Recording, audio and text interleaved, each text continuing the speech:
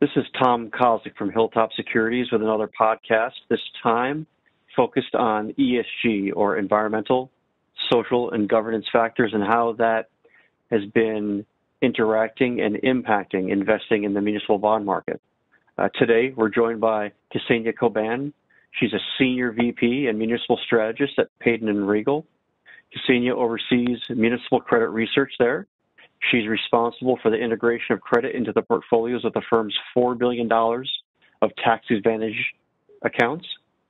She is also a co-chair of the firm's ESG committee and works on the development and implementation of municipal social impact and broad ESG investment strategies and solutions for the firm's global investor base. Let me, before we get started, let me say a few things about uh, Payden and Rygel. Payden is one of the largest privately owned global investment advisors in the world.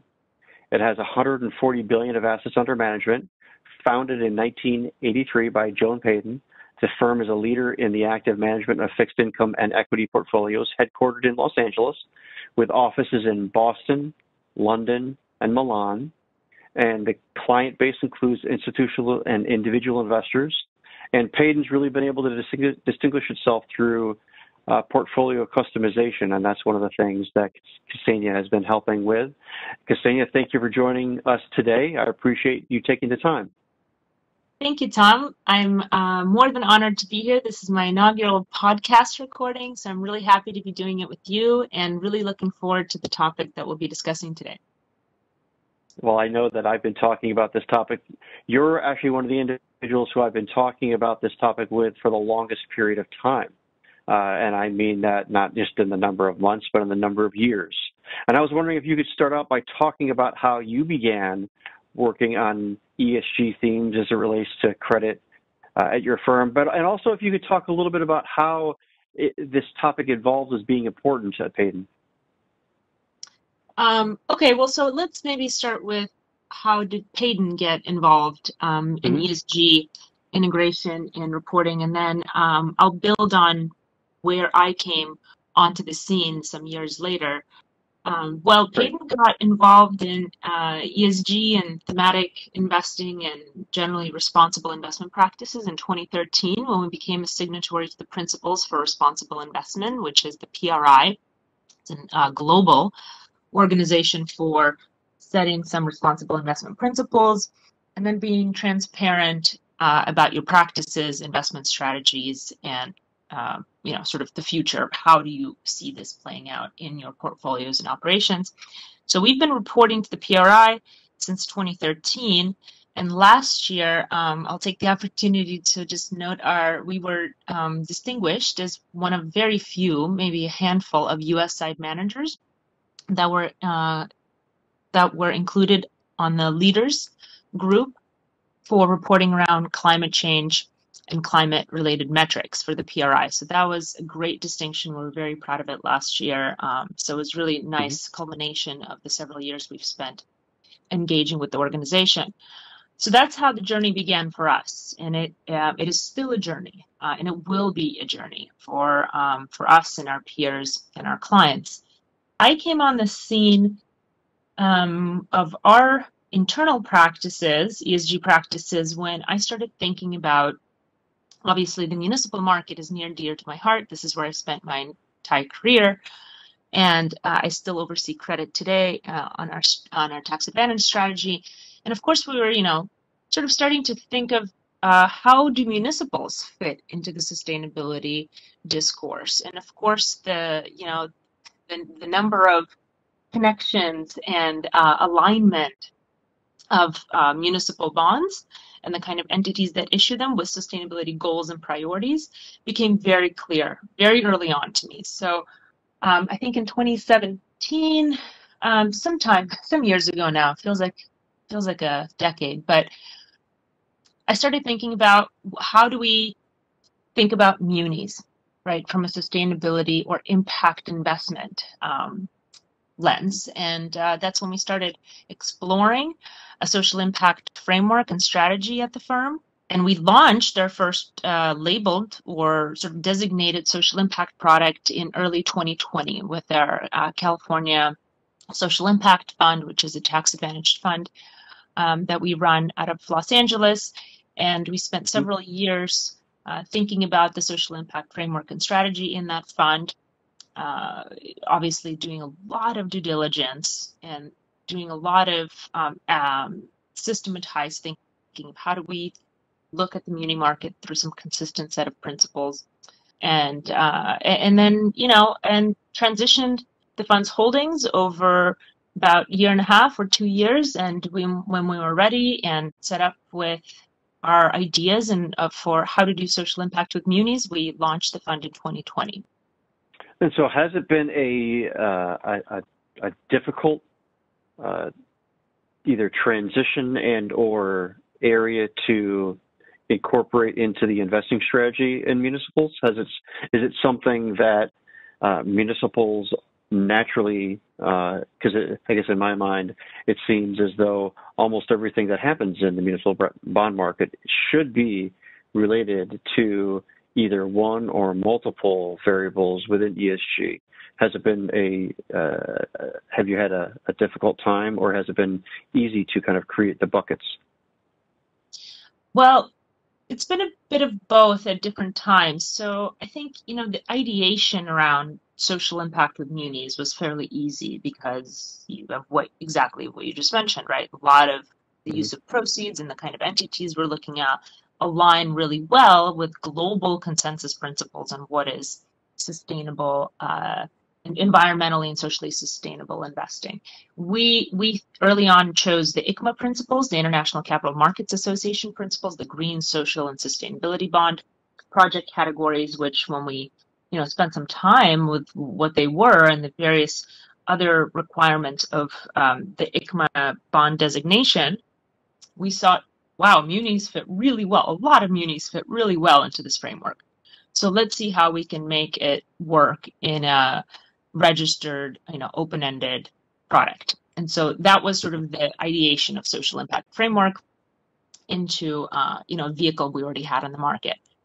Now, the difficult part was sort of the the other side of the responsible investment spectrum. So if we're if we're going from thematic investing and sustainability focused investing on one side, which munis do really really well around you know, things like uh, sustainable development goals or the ICMA principles, like I mentioned. On the other hand, is the, you know, the more traditional or the broadly uh, discussed topic of ESG risk integration, right? Is understanding environmental, social, and governance risks uh, in the various investments that we make, uh, being able to uh, assess them, integrate them into your process, and be able to um, derive financial performance outcomes of the of the instruments as a result of these risks, right? What is how material are they to financial performance of the issuer, and um, to what extent do we think it'll impact the uh, the investment's performance in the market? That is where I think munis pose a unique set of challenges for investors, right? The ESG integration piece is difficult because, uh, well, for for a number of reasons. Because I think the questions we ask around ESG materiality, like what is material to financial uh, performance of an issuer from an environmental, social, and governance point of view, um, that, that question doesn't really work for munis in many cases, or certainly not many sectors in munis, because many municipal issuers do not actually um, cause any negative externalities to society. In fact, their mission is to mitigate them, right? Um, and to be able to uh, serve communities in a way that helps um, uh, mitigate the negative externalities of for-profit activities and then also obviously take care and provide uh, services and infrastructure to the communities that the entity serves. So a lot of these questions don't really work well for munis. So there wasn't a lot of data uh, for us to work with on the municipal side that was easily packaged, that uh, you know had these nice you know, uh, convenient buckets of environmental, social, and governance metrics, um, had, you know, decent sector coverage or deep enough insight for us to make that data decision useful. So the data limitations really made part of that exercise difficult, but um, but certainly the the idea around being an impact investor with municipal bonds, that was uh, you know that was the easy part. And it's I mean, how should how should we be thinking about ESG? Because this is, as you were describing, I mean, the ESG factors and or risks have been have always existed. I mean, climate change related, weather related. Uh, I mean, these things have always existed. It, uh, is how is it that uh, in the investor community and or the issuer community should be thinking about this? Should be think, should be they be thinking about it as though we're in the early stages of something brand new, or is it something that is more, uh, as you were kind of alluding to, more data? Is the situation and how it, and the change and the potential change in thinking? Is it more data driven? How should we be thinking about it? Yeah, I think that's a really good question because, like I said, you know, municipals have uh, a slightly different mandate around all of this, and certainly, uh, you know, very differing set of vulnerabilities to these risks. So for mm. munis, I think the question to be asking, um, and this is, you know, in a broader sense, as far as, you know, global corporates, let's say, and sovereigns and so on, those questions are being asked in, in those forums as well. But it sort of, what is the impact of, let's say, changing climate or um, changing socioeconomic patterns, uh, demographics, um, you know, questions around policy risk, at the local, global level, and so on. How do these risks, and we can bucket them into E, S, and G, uh, according to you know either standards we set as a as an industry, or you know through proprietary frameworks. But we ask the question: is how do these risks, or to what extent do we think these risks will impact financial performance of munis over a specific time horizon? of municipal entities and what is being done to mitigate that impact by these entities, right? Or by uh, by states, or uh, let's say by you know public enterprises. So the questions, you know, then are not only on what are these risks, and do they do we think that they will lead to um, you know deteriorating financial outcomes, or maybe they create opportunities. And then the following question is, what are the governance practices around these um, for state and local governments uh, and public enterprises? So that's kind of how we think about it in munis, uh, which is slightly different. It's a slightly different lens than the way you would think about it in corporates, especially uh, corporate sectors like you know carbon intensive sectors where you're thinking about you know oil and gas, extractive industries, metals and mining, consumer staples, and so on. Um, so that's how we think about it in munis. And obviously, once you've asked the right questions and you you know you've figured out a process for identifying and assessing these risks, then comes the question of integration. You know, where's the data? Uh, how you know? So, um, how, yeah. So so you're so you're yeah so you're now talking so you're now talking about and you just mentioned some of the physical risks, right? Uh-huh. The physical risks as it relates to maybe climate change or weather, and and now you're kind of transitioning or moving over into how it is that, from a data perspective, uh, and the investor or issuer community can look at those physical risks, right? Yeah, physical risks um, okay. are a key concern, right? Um, and we can talk about the the the um, uh, out of physical risks obviously come transition risks. So if we set decarbonization of the economy as an objective, what are the transition risks about that? Transition risks that come out of that. But if we focus on physical risks, just on you hmm. know risks that a changing climate may pose to state and local government uh, revenue bases, you know, that's where we start to really want a lot of good data um, mm-hmm. and consistent data and normalized data that you know controls for sizes of entities that are issuing bonds. And you know are you looking at a state size entity or are you looking at a local water district? Right. So you have to have data that makes sense in the context of the issuers in which you're trying to integrate it for. Um, so, but physical risks are really interesting because obviously, um, you know, it, it's not a new discipline, right? I mean, if you think about who has been assessing physical risks and who's really good at it, is the insurance industry. Um, and they, you know, they've been doing physical risk assessment for as long as there's been insurance in the world, which is forever. Um, so mm-hmm. there are models for this, right? Uh, we do understand that there's certain, you know, we've modeled weather and climate patterns, and we've linked them to um, risks to physical assets and even uh, risks to financial performance of these physical assets and you know underlying entities. So it's not like the models are not there. We just have to do a lot of translating and a lot of mapping of this data to municipal entities so that it becomes decision useful to policymakers, issuers, um, you know, and investors. And so then what about some of the more uh, qualitative risks? Uh, what are the more qualitative risks that uh, the investor and the issuer community should be thinking about? I'm thinking things like uh, mm-hmm. social justice. mm-hmm. um, you know, metrics and indicators that, like you said, we've probably been thinking about for a really long time. We just didn't put them in the social risk bucket or the governance risk bucket, right? Even if you can quantify them, uh, you know, we want to say that the risk is qualitative in the sense that, um, you know, that we think that a certain type of a metric like income inequality, let's say, right, or um, uh, gender pay gap inequity, we think on a qualitative basis that that may pose risks to the institution, right? As well as mm-hmm. governance. Governance is entirely qualitative, let's say. But even if you can quantify the metric, you're always trying to ask the question of what is it that I'm trying to measure and why do I think it's important? Um, and it isn't just a set of, you know, top down. In fact, munis still benefit from the fact that there isn't a set of top down materiality frameworks and metrics that are being handed down to us by some sort of a, you know, a sovereign regulatory body like what is happening in Europe.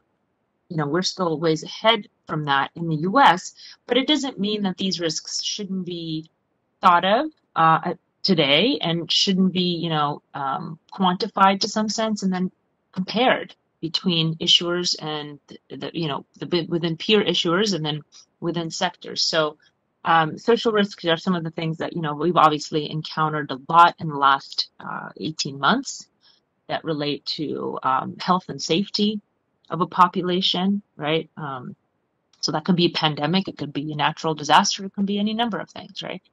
Health and safety. So are you?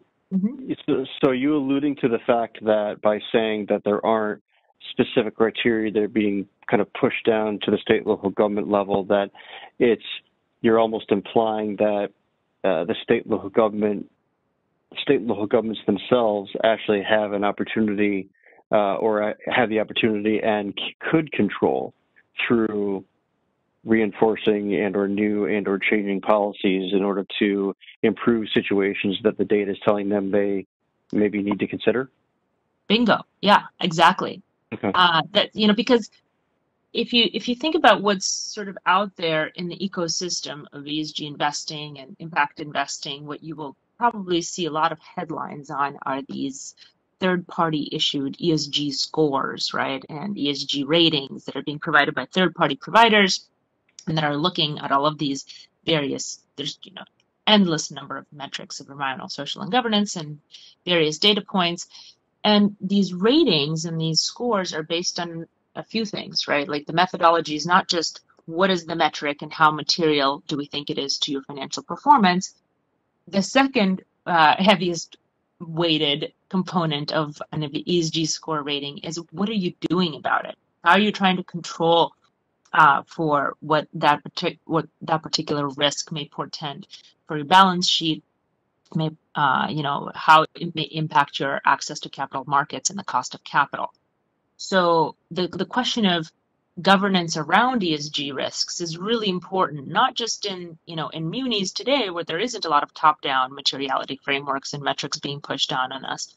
But um, you know, but as we move forward and as investors start to ask these questions either in a collaborative in a collaborative fashion uh, through you know various engagement uh, initiatives and so on, but also the policymakers themselves have to understand these risks in order to be able to govern effectively, right? In order to continue to provide services at the extent and you know to the depth and breadth that, that they were providing them before at you know and expect a certain cost of capital as a you know as they go on about their business because you know whether you think these risks are actually material or not to credit today for municipalities Uh, and many will argue that they're not because, you know, municipal entities, especially things like states, have a lot of levers to pull to mitigate any one uh, or even a number of E, S, or G risks. So, you know, not mm-hmm. much is material to the balance sheet.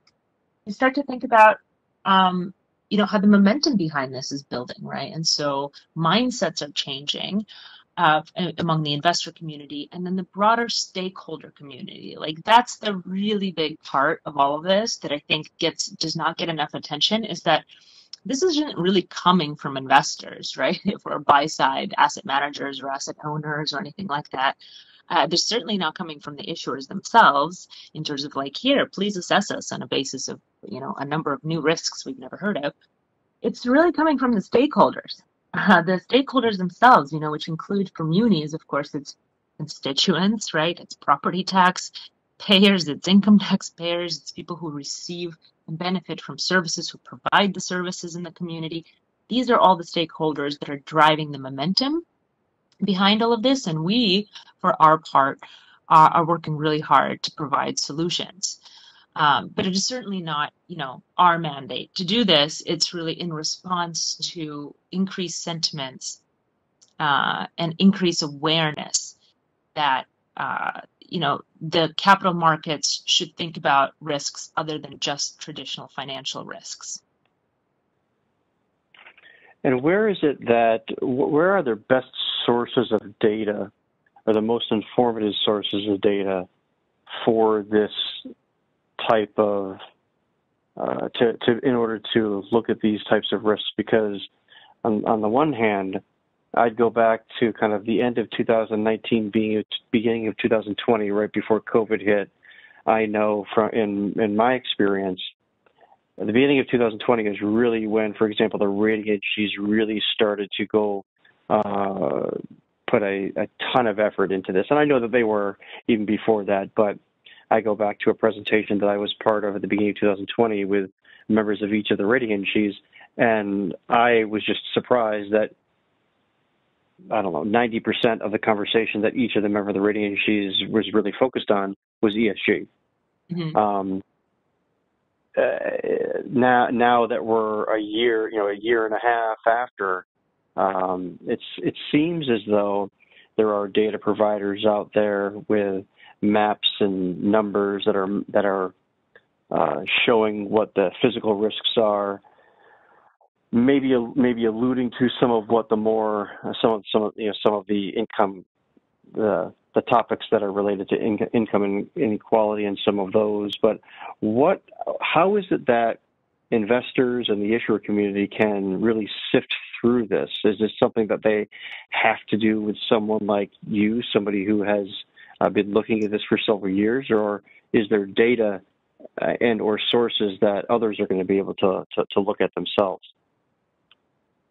Well, I'm really happy you asked this question because I always um, want to, every time I engage in this topic with the broader community, is I really want to be helpful in providing sources. Is where do you go to learn about this? Mm-hmm. Where do you go to engage with this? Where to get help in understanding and right. you know how this all fits into your governance plans. And uh, one of the first for municipals, one of the first place I turn folks to is uh, the CDP, which is the Carbon Disclosure Project. Uh, it used to go up by the Carbon mm-hmm. Disclosure Project, now it's just the CDP. And that is a nonprofit mm-hmm. entity that has been collecting um, climate related information. This is specifically for environmental risks, climate related information from uh, entities all over the world, corporate, governmental, quasi governmental, local government uh, for 30 years, and they really have uh, focused on understanding climate risks from uh, uh, rising temperatures to deforestation to water stress and so on. Out of the and their, web, and their website is it's cdp.net, it's cdp.net, right? And cdp.net, and as this organization is growing and becoming um, really one of um, you know the mainstays of climate-related disclosure, it's doing things like targeting specific sectors around the world, right? Like CDP mm-hmm. launched a CDP cities uh, division where they're really going to be focusing on US cities and municipal entities, helping them understand these risks, helping them disclose what they know not just disclose to them, offer a lot of guidance, a lot of uh, connectivity.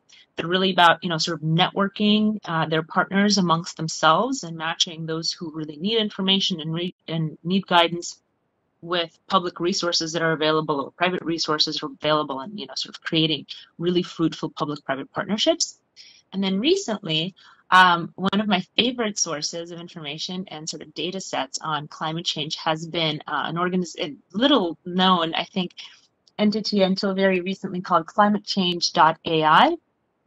Uh, mm-hmm. And this is a consortium of academics, actually, and machine learning and AI specialists that have really sat down and, uh, and thought, like, hey, you know, our skill set and what we do uh, in terms of understanding how computer systems, machine learning, and so on can, you know, how we can leverage this tremendous uh, tool for being able to better understand the risks and obviously uh, offer a lot more predictability of of um, of these models to anybody who asks. And this is a public resource, and they have uh, a page called resources, and they basically, you know, give tools for uh, cities, local governments, you know, planners, uh, transportation, electric systems, buildings and cities, and so on. So they have a tremendous set of resources available uh, there as well. But you know, this is just two of many that exist um, that are even sector-specific ones. You know, in fact, I have a I have a whole list of these somewhere, but there's sector-specific mm-hmm. ones. That's you know, if you're an entity in the transportation sector, right, or mass transit or housing, uh, there's a set of sustainability principles you know uh, it could be you know it can go to depths such as like engineering uh, approaches. And how do you engineer a transit oriented development project? Um, what are some of the you know technologies and um, inputs that you should prioritize? So there's quite a lot out there at the moment uh, for munis if they are looking for it. The question is do they know to look for it and that is why we do quite a bit of uh, we're trying to do quite a bit of direct engagement with issuers on this topic. And then we take every opportunity for collaborative engagement on this um, as well. Well it sounds like to me you just gave us the topic for our next discussion where i think that you should come back and we'll talk about some more of those specific sources uh, as it relates to some of the sectors and municipals mm-hmm. And I hope that our listeners will uh, take a look at uh, the this the CDP.net and climatechange.ai in the meantime. Uh, but for now, I want to say uh, thank you for joining us today. I appreciate this. This has been a great discussion. Thank you so much.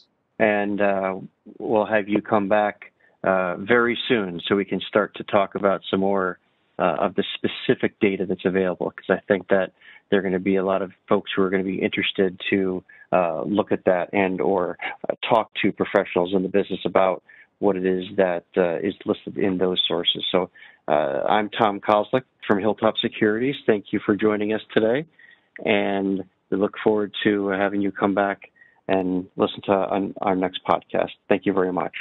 Thank you. It's my pleasure.